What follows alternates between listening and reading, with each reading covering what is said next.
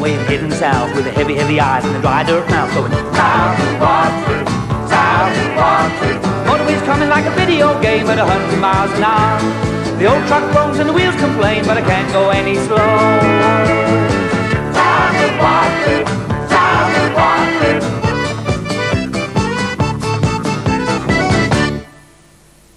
I have such a passion for the river. I think the best thing that's happened to me really is the quality of my life here is so wonderful. I have such fun. I have wonderful friends. I love the river itself. It's so beautiful and I could go on forever. The great joy of living on a boat is being able to, is being able to move about, being able to wake up in different places with different noises, um, and to take your house with you, to, to go on holiday and have forgotten nothing. They just watch the river and it's beautiful. You just sit and look at the river and you forget everything. It's just like a never-ending holiday. Well, as you probably guessed by now, this week South of Watford takes to the water. Now, the nearest most of us get to a life afloat is a Sunday afternoon drink down by the river or throwing up over the side of a disco boat. But for a growing number of people, the river, or indeed the canal, is a way of life. They live on it. Now, you may ask yourself, with all this uh, nasty, wet water lying around, why anyone should do it. Well, stick around, because tonight we're going to be exploring the darkest backwaters of London town and we're going to track down the boat dwellers in their peculiar habitat. It's going to be quite a voyage of discovery because as you're going to find out soon, London's got a lot more water in it than you'd think. There's the Thames, which, as you may have noticed, runs through London, plus the various bits of the Grand Union Canal, which can take you from Limehouse right round to Brentford. Who needs the Norfolk Broads when you can find aquatic bliss in NW1 or even East 3? Once upon a time, of course, the Thames was a pretty busy stretch of water, and its warehouses rang to the cries of underpaid dockers, rather than those of Jeremy and Pippa and the other gentrifiers. Nowadays, what traffic is left on the old river is mostly pleasure craft, though some people's idea of pleasure isn't exactly mine. But you can also spot a new breed of boat people on the river, people like Mike and Ali, Two years ago, they put an end to their flat hunting problems when they first clapped eyes on their trusty barge, Reliance. Since then, it's been a non-stop labour of love to convert it. Constant sawing, plumbing, wiring and welding have transformed this shell into a two-bedroomed floating flat. This may all sound pretty idyllic, but it's not all plain sailing. At times, the going can get a bit rough. I suppose the lowest of the low comes on a, a cold winter's morning when there's ice on the decks. And it's Monday morning and the the Elsan is full. You know what an Elsan is? I don't do you? indeed. I expect- lived in a caravan once myself. It's a chemical toilet. That's right. The Elsan is full and the water's run out and it's frozen up anyway and uh, you've got to go out on deck with your gas torch and unfreeze the water and then you've got to carry the Elsan up the ladder and, and it's at times like that you think um, why don't I live in a nice cosy little centrally heated house where all the systems are automatic but uh, those times are, are quite rare. Well, they'd, uh, I must say, they'd live in my memory, having to unfreeze my own lavatory before I could empty it. I mean, what are the... Uh, I reckon you'd have to have some pretty impressive good times to offset that. What are the good times? What's good about it? I don't think it's that you have specifically, you know, good times all the time. It's a, it's a quality of life. Um, I mean, look, it's beautiful, isn't it? Do you know what? We might see Laura and Helen on their boat when we go past. Mike and Ali's boat is moored at Chiswick in tidal waters. Fine when the tide's in, but when it goes out and leaves you high and dry on the sloping riverbed, life can get rather complicated. Well, we're level at the moment, but when the tide goes out, we uh, we sit on the bottom at a, a five degree angle, which can can cause some problems. I mean, it's best to have a bath when the tide's in. We tend to organise our baths when the tide's in because otherwise you end up with two inches at your bottom end and a foot at the tap end. um, and cooking. It's good to cook eggs when the tide's out because then you get all the fat down Oh, at yes, uh, one yes. side of the Spoon pan. it all in. But, uh, I came badly unstuck when I was cooking uh, Lisa's birthday cake. I don't often cook cakes, and I cooked it while the tide was out. It's a wedge-shaped cake, I had about one inch on one side and about four inches on the other. Mind you, even with the fried egg, I mean, surely it'd be easier to move the pan than move the house, most people would have thought, but, you know. Fair enough. Living on the water for pleasure is a relatively recent thing. Houseboats, like babies, came along in a big post-war boom. Lovely, isn't it? And, believe it or not, it's only 30 minutes from the heart of London. A woodland haven of painted boats, little ships which once sailed for Dunkirk, larger craft which have sailed the Atlantic. Many families came to Cubitt's yacht basin when housing shortage drove them to seek homes afloat. Others saw in it a place where their children would be safe from the noise and dust of city streets. It's a floating village of man-built hulls, where the homemaking touch of womenfolk and the laughter of kiddies have brought neighborliness and peace. The present generation of boaters also go overboard for love and peace and neighbourliness. But Mike and Ali are a bit unusual, because their houseboat is, well, it's a boat. When they want to pop over and visit friends in Twickenham, they simply unplug the mains electricity, phone ahead and chug up river. Not many people can do that, because although many of these craft may look like boats, most of them have had their engines ripped out and have well and truly dropped anchor. Now this stick in the mud attitude is well out of order to most canal lovers. Canal people are a completely different species altogether. Not for them the passive life of bobbing up and down with the tide. Water, in their view, is there to be travelled on. What's the, uh, what's the magic of travelling on a boat for you? I think probably the speed's got a lot to do with it. That you're hardly going anywhere. and um, I don't know, I just like canals. They're either in the country, which is nice, or they're in places like this, which I find interesting, for the remains of railway lines and docks and factories and things. Giles, uh, I mean, all this, I know this part of London quite well, but it looks, all looks very strange to me from this perspective. Where are we at the moment? Well, we just passed it behind the back of St Pancras. You can sort of see the spires over there. And uh, the gas holders, which perhaps you don't normally notice. And we just passed under the railway line, which is the main line up from St Pancras. Before that was the main line up from Euston, which you, again, you probably haven't seen the canal from the railway, I shouldn't think.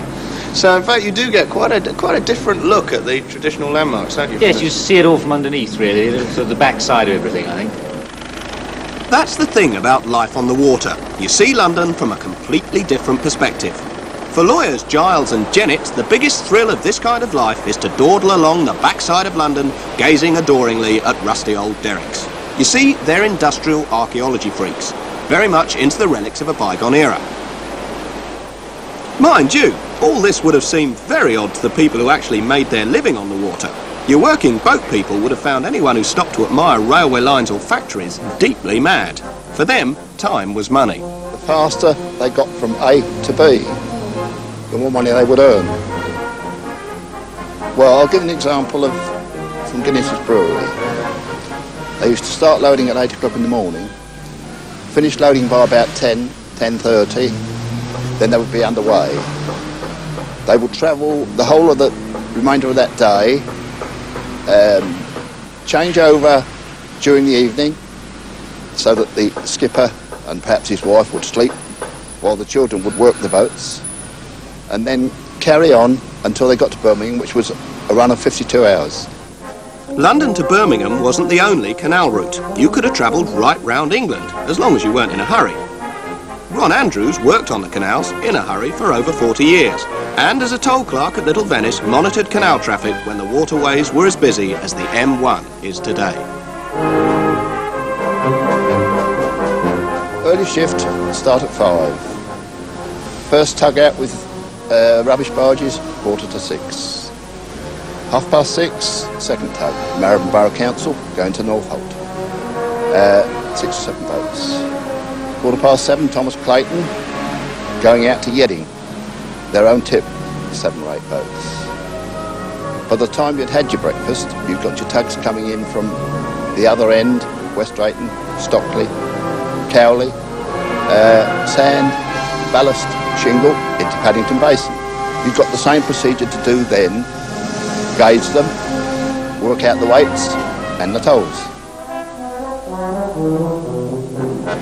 Most of the space on working boats was given up for cargo. The family lived in the back cabin, 8 feet by 6 feet. Quite a problem if you had 15 children, as many of them did. As soon as possible, the kids were put to work on their own pair of boats, or farmed out to uncles, aunts and cousins round the canal network. The Hambridges, they were one of the biggest families. I think she had 17 children altogether. And um, they used to come in for their orders. I would go down the lay-by, give them their orders.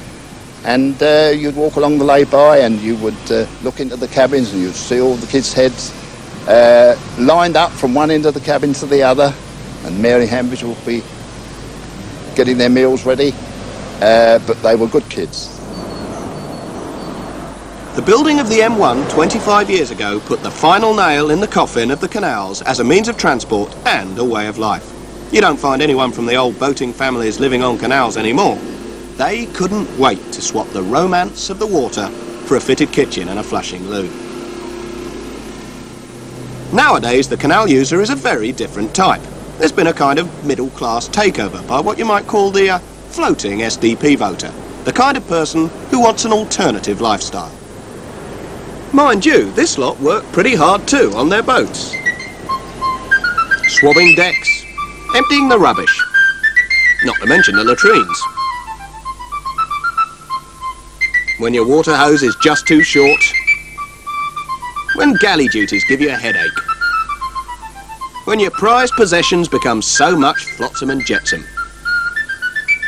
Well, it's a hard life keeping everything shipshape.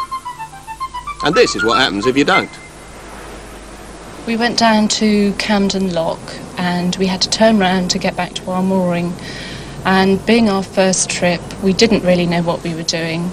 It was the Sunday market, there were thousands of people, it was incredibly windy, and we just got totally stuck sideways for about probably half an hour. We broke a pole trying to turn round. We attracted thousands of people who were just standing around watching us and laughing. Laughing, no Yes. doubt. yes. Just so embarrassing. Claire and Pete's boat is moored at Battlebridge Basin, just behind King's Cross. Like many other boat dwellers, they almost seem to enjoy roughing it. No fiberglass gin palaces here. We thought it was going to be a major disaster at first when we actually moved on and we couldn't light the fire and there was no electricity and it was horrid. But we persevered and we're in love with it now. We wouldn't change it for anything. And to top it all, life afloat is anything but cheap. Pete and Claire spend 3000 a year on basic maintenance. And with one plank of oak costing 800 quid, that's if you can find a tall enough tree, you can easily spend money like water. Not even the arrival of their baby has made Pete and Claire hanker for dry land. They do own a house, but they wouldn't dream of living in it. We, we've since bought a house, but we don't really live in it. Um, we bought it for, for a number of reasons. Uh, convenience of uh, mains electricity and uh, having having a, an address is, is one of the main things. And a bath. And a bath, yes. um, So you don't live in it, you just pop back for a... That's right, for yes, yes, yeah. It just stands there. We, we, we would much prefer to live in the, in the boat. Much nicer. Well, they've obviously been bitten by the canal bug, but nowhere near as much as their neighbour, Mary Gibby. Well, I first bought a boat in 1974, so I've been living on a boat for more than 10 years. Uh, I like living on a narrow boat, and I also like a narrow boat that's traditional, and it's traditional to have a boat with a small cabin, like this. Was this boat like this when you bought it? No, in fact, um, when I bought it, it had a conversion on it. The, the hold was converted. You mean it, there was actually living space over the... That's right, but yes, You had a lot of space, in fact, when you bought this, yes. Uh, well, that I could have lived in, yes. and you took it off. I took it off. I wanted a tr- traditional boat. You actually deliberately reduced yourself to the level of when these were working boats. That's right. It's a bit like knocking down your three-bedroom semi and living in the wardrobe. Remember, the back cabin is only eight foot by six foot, and Mary doesn't live alone. She shares it with her boyfriend. Well, you cook on the um, the range um, using coal, so you have to plan ahead, and everything takes quite a long time. And you wash in a hand bowl that hangs up by the range. And uh, Where does the water come from? well, you collect it from the nearest tap in cans um, that you keep on the roof by the chimney. Where do you sleep? Um, the bed Folds. folds down. I get rid of the seat. So you have to take the Take the that seat off, yes. Yeah. And fold it down. Oh, and you you sleep Fold it down. sideways. And you sleep across the boat and the mattress rolls out. How splendid! That's very cosy. There's no question. And uh, is that a m- more more storage space through that door at the end there, or what? Just a minute. Oh dear, little. Sorry, I was- mind you, it's pretty easy to make the bed, isn't it? That's true. You can just hide it all away. Yeah, fold it up, throw it away. So is that? Have you got more storage space through there, or what? No, that's the engine room. That's That's the engine next door. yeah, I wouldn't. I wouldn't hang up this best suit in there. With space so cramped, you'd expect every available hook to hold teacups, car keys, maybe even a screwdriver or two. But not with Mary. it's traditional to hang plates up in boats, that's why. And um, most people who live on this type of boat collect plates. And I've just got as wide a selection as I've been able to find. Now you may think Mary's a little extreme, even for a canal freak, but she simply realised what is every narrowboat owner's secret fantasy. I think for most people who live on narrowboats, um, deconverting your boat and living in a back cabin is uh, is, is their dream. It's uh, it's not necessarily very practical for, for a lot of people, but uh, it's I think it's it's, it's all it's, every one of us is our dream to do it. So, despite the awful lack of space, secretly you envy her for having done it. I think so, yes. But in the quest for cramped, uncomfortable living conditions, there's one fellow who beats the canalers hollow. Ian McCulloch built this raft two years ago, and since then he's lived happily in the middle of the Thames by Battersea Bridge. Apparently, he likes to get away from it all. So do the residents of the Chelsea houseboats, who live just across the river. But they do it in a rather different style. The houseboat community here has always had a somewhat bohemian reputation. Dorothy Tutin and Quentin Crisp are just two of the famous names who've lived here over the years. William Meredith Owen reckons he's a bit of a free spirit himself. So when he had to move to London, he fancied living here, amongst the actors, photographers and designers who still float in Chelsea's boats. It's very unclaustrophobic for living in the middle of London. And I particularly like this boat, which has a certain style, and which I could just afford then. And to get anything of the same sort of character and feel of being a bit special would have cost uh, just a fortune on land. So it suited me very well because of that. This is an Oxford College barge, and um, from about 1850 onwards, when rowing became a popular sport amongst the Oxford colleges. Uh, they had the problem of where to keep their boats, and also they needed somewhere for people to watch the races from and so on. I hate the water, uh, as a rule, and not as not a not a seagoing person at all. No, it's just because of the, the, the style and the, and the history of this particular boat. Like many other Chelsea boat owners, William's not what you might call a sea dog. In fact, his biggest worry was that he would spend most of his time throwing up over the side. And that was my big anxiety before moving in. Um, and in fact, before I sort of actually bought the boat, I went and knocked on people's doors and asked them if this was a great problem in their lives. And they all looked at me as if I was mad. And of course it isn't, because after a day or two or a week or two, you just get oblivious, really. I can't even tell when the boat's up or down now. Get so used to it. There is a river called the River of No Return. I can't imagine how I ever lived without being on a boat. It's wonderful. And sometimes wild and free.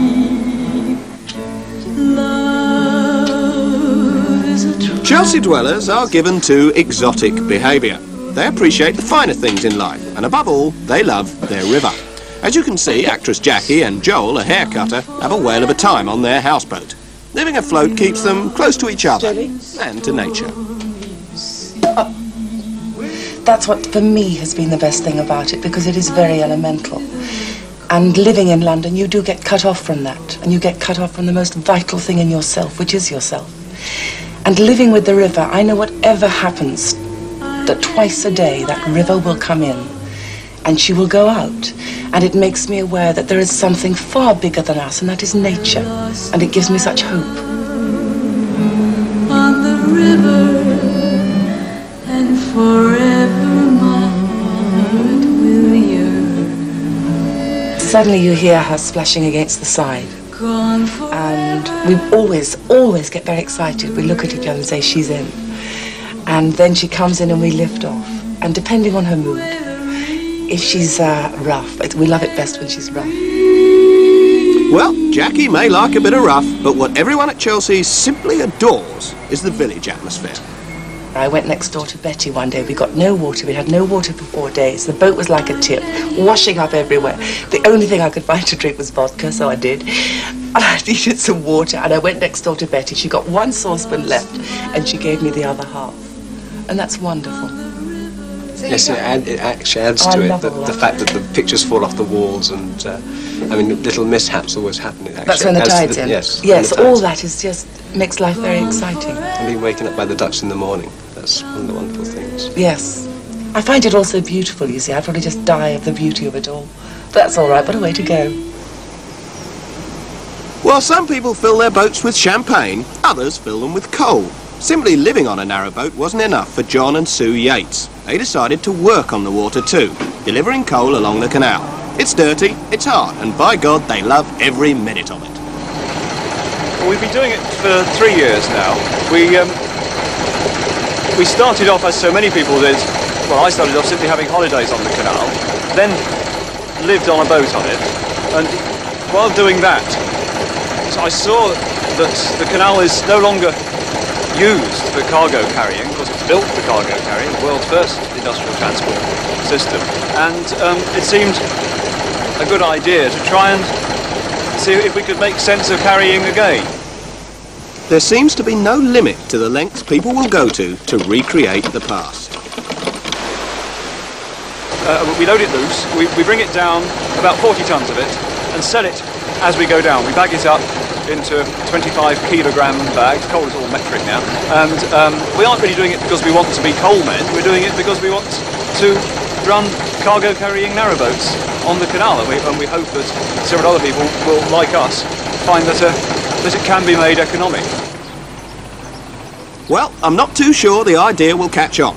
It seems to me Bob a Job Week's a better bet for earning your fortune. And John must have a sneaking suspicion I'm right, because he's kept on his ordinary job in the historic building section of the GLC. And when he goes off for a nice day in his centrally heated office, Sue is left to carry the coal. The worst part is sometimes when you're travelling loaded um, on the long sections where you may be travelling for as long as three hours without a lock.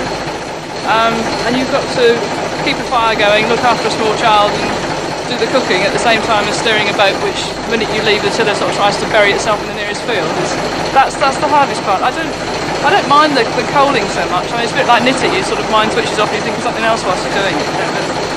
I suppose it's a romantic attraction in a way. It's also, in a sense, a conservation exercise because we're um, showing how the how the, the canal can still be used for, for transport by water. Whereas the passion of the canal enthusiasts is fired by nostalgia, Jerry Braban believes in going full steam ahead into the future. Tagg's Island, near Hampton Court in West London, was derelict when Jerry moved there. But he had a vision of what life on the water should be about. One and a half million pounds later, he's created an idyllic haven for those who like their dreams to come packaged with all mod cons.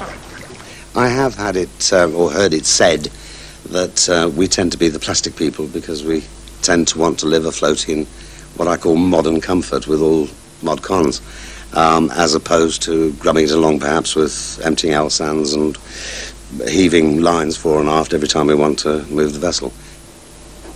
And when Jerry says mod cons, he certainly means it.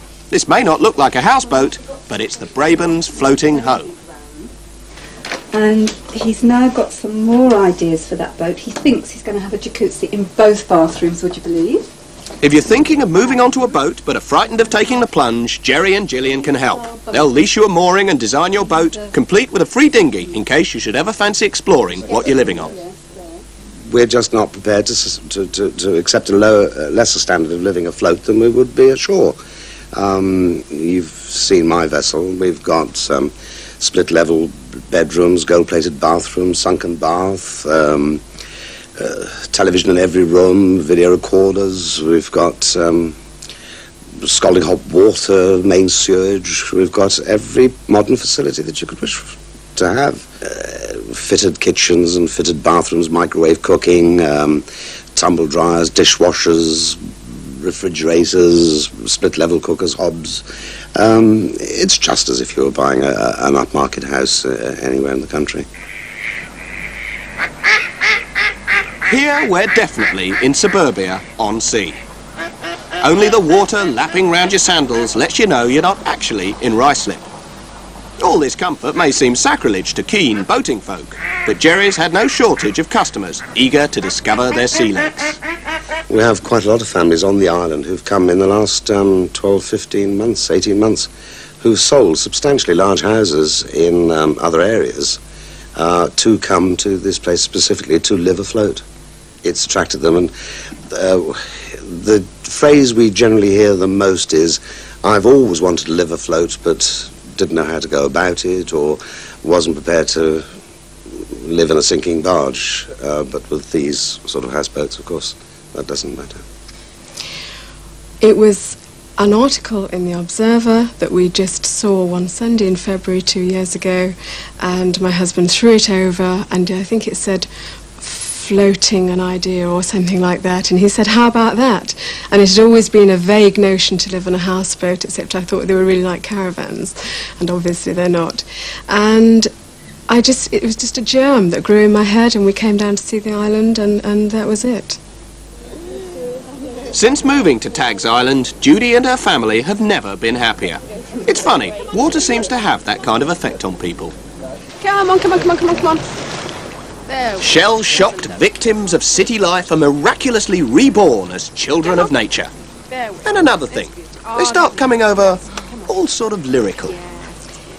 It's just a magical way of life. It's so near London, but we come across the bridge and it's a magic island. The whole atmosphere changes. It's beautiful. It's, it's just calm and you forget everything as soon as you come on the bridge. You see the water and it's a different kind of life. Well, one thing's for certain. Everybody who lives on the water in London just loves it. There are some people whose idea of boating is sipping a gin and tonic and watching the world slip by. Others who like to thrash up and down the canals in their one tiny little cabin. And then there's those old-fashioned souls who just can't resist the romance of life afloat. Of course, on a frosty morning when the chemical loo's full and the water tank's empty, it can all get a bit tough. But everybody seems to agree when you wake up to the sound of water gently lapping, and there's ducks floating past your living room window, and you're rocked to sleep at night by the gentle ebb and flow of the tide. Well, there's only one way to sum it up, eh? Sheer poetry. Glide gently. Thus forever glide, O Thames, that other bards may see as lovely visions by thy side as now. Fair river, come to me. Oh, glide, fair stream, forever so. Thy quiet soul on all bestowing, till all our minds forever flow as thy deep waters now are flowing. Now let us, as we float along, for him suspend the dashing oar, and pray that never child of song may know that poet's sorrows more. How calm, how still, the only sound the dripping of the oar suspended. The evening darkness gathers round, by virtue's holiest powers attended. Oh, If you'd like to know where to go to see those much loved boats and barges, then you can consult Oracle on page 364.